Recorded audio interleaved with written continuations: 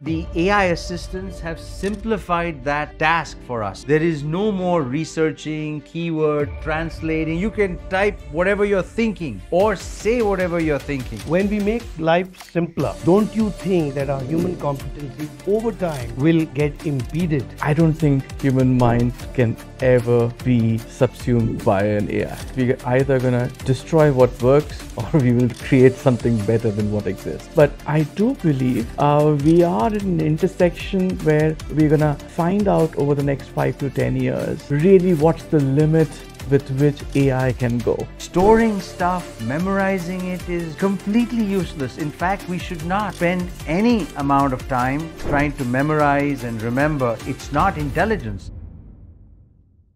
Hello, friends. I bring to you greetings from B Cubed Showreel. And I also bring to you Sabeer Bhatia, who's going to break some boundaries with Nilay Varma, our very special guest. Welcome, Nilay. Thank you. To our show today on the future of AI in human interactions.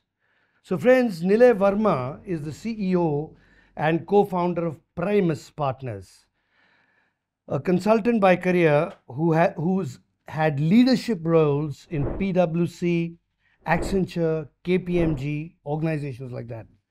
He has pioneered in setting up perhaps what is the largest and first global Indian consulting house called Primus Partners.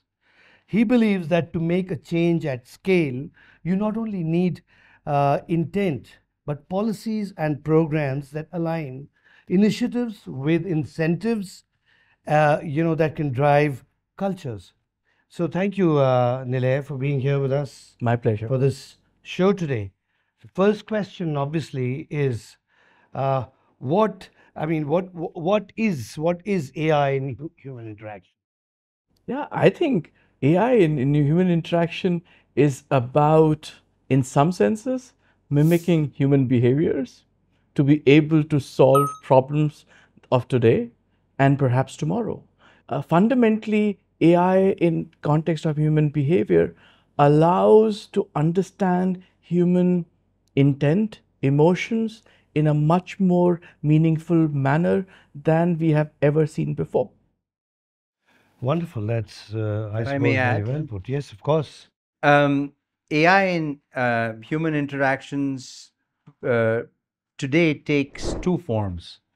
One is the form of a chatbot, which has seen an explosion in the last four or five years. We've got all these chatbots starting with ChatGPT and Gemini, Claude, Copilot. And the other form of the communication is voice like you said, you know, uh, whether you speak to your car and ask for navigation directions, or Alexa in your home, uh, or your uh, refrigerator or your TV, you know. So devices are uh, getting, are becoming AI enabled through the human interface of a chat or voice and that is the you know uh, the manifestation of AI uh, in human communications. Wonderful. That is the question I was going to ask you about uh, virtual AI, virtual assistants, and how are they effective in uh, enhancing human communication. It- No, I, I I think Sabeer is absolutely right. Essentially, when machines can understand your commands in the natural language or text that you would do, is what we would call AI in human human interaction. Uh, absolutely. And previously, we you know we used to use uh, typed text, you know, to get that response, and or we had to do some sort of effort. For example, if we had an idea that we were researching, um, you know, uh, we would uh, go to Google, uh, type a whole bunch of uh, uh, uh, keywords that were most associated with what we were thinking, and then we would get, you know, 10, 15, 20, whatever articles. Then we would go through all of them and figure out what question we were trying to get answered uh, we would take that response and collect the collective responses and make an, a decision or an opinion and whether we wrote that in the form of an email or report or uh, used it to make our decision. Today, the AI assistants have simplified that task for us.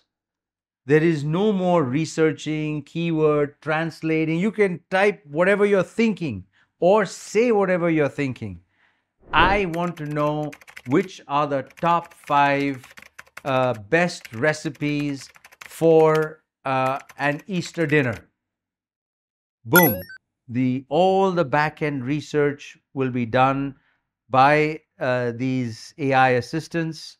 They'll come back with the five recommendations, and if at most, I mean, that that's where they not may may not all be right, but they'll give you your the answer you're looking for in an easily collated, collected, researched, their own research kind of form. And if you want to, you know, just make sure and verify that this is okay, you type that same query in three or four virtual assistants and then compare all of them and say more or less this is what they're saying. So uh, it removes the whole burden of, uh, you know, thinking through an issue in your mind. But- you can just speak your mind, if you will. Sabeer and gentlemen, both of you, point for both of you to sort of deliberate over. You know, the human body and the human mind has certain competencies or is supposed to have certain competencies. When we make life simpler, like you said, life simpler, life easier, what is the impact of making life simpler and easier and all these chatbots and virtual assistants on our human competencies? Don't you think that our human competencies over time will get impeded? Or is that the evolutionary way? I mean, uh, is that inevitable? We uh, from you first, Nilay, and then Sabeer will respond. You know, coming from India, a land which is often referred to as Jugaad, I don't think human mind can ever be subsumed by an AI. I personally don't believe that because we're either going to destroy what works or we will create something better than what exists. So I personally don't believe that's going to be true, Javed. But I do believe uh, we are in an intersection where we're going to find out over the next five to 10 years really what's the limit with which AI can go and actually um, undertake many of the things that we as humans currently do in our jobs, in our education, in any settings that we currently work in. And then, and during this period, we'll also get to know what else do we need to do to remain relevant. Because as humans, we always want to remain relevant. So I think it, as AI evolves, so would the human ingenuity. I would also say another thing, Javed, you know, to the previous point uh, Sabeer made. Uh, I think it, the difference is if I, as a consultant, wanted to search which country has the best tourism strategy, I'm going to go to Google. It's going to give me results versus going to ChatGPT, which is going to give me the output that I need. And I think that's the big difference between the generational shift in how AI is responding to the same query. I have a different uh, or a slightly modified response to the Jugaad answer. I'm like, is Jugaad necessary? I mean, or is it being overly smart on things that you need not be overly smart on? I mean, it's like cutting corners or trying to fit A with B or he said, she said is, I mean, in the long run, it doesn't serve you that well. And so I would say that what these kind of AI assistants do is remove the obvious decision making to saying, you know, it is good. This is what is most likely. This is what is the best outcome for two people. Let's not try to one up on each other, but do what is good for all of society. And then it frees our mind to then think of other problems, not just mundane, mundane survival problems, not just trying to figure out if this guy is pulling a fast one or lying to me or doing this. I mean, that's the beauty of uh, these AI assistants, if looked in a positive sense, without the bias, you know, that uh, it, it, it really frees the mind uh, from the day-to-day interactions and obvious things uh, you know that are predictable you know that humans would do or should be doing uh, so as to create a better society. You know, for example, uh, Nilay, when I mentioned this, one of the things that came to my mind was uh, I do still recall around uh, the time he uh, invented Hotmail, the mobile phone had also just mobile telephony in India had taken off. And when I had my initial mobile phone, the very, very initial one, uh, you know, the directory had to be sort of gotten into, and it wasn't so easy to get into the directory and put so many thousands of numbers in your directory. So one remembered 10 digit numbers. Now, does anybody remember 10 digit numbers? What to say 10 digit, 5 digit, 6 digit? Why? The reason is because something is so easily, uh, technology has brought to us something so easily that's available that we don't think of straining our memory. So, if you don't strain a faculty, does it not Im- impede? I think, Javed, in your question, there is an assumption that that's the best use of memory. Just an example. I know, but I am saying that's the assumption we've made.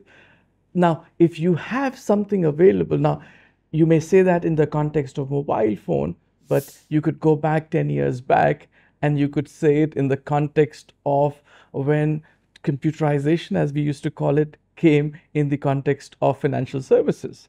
So I think that's the natural progression. But I would argue to say that, and I see my kids, right? I have two young daughters, and I would see them using their mental faculty much more than I do, recognizing that they don't remember numbers, but they recognize patterns.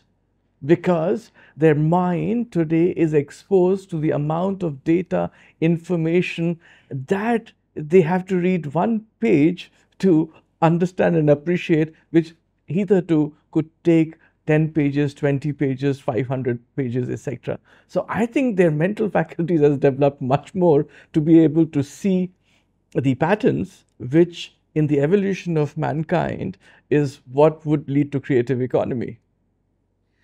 I would I would add some more to Yes, it. please. In fact, hidden in your question is actually a very deep uh, question about intelligence, and um, it comes back to knowledge based versus inquiry based.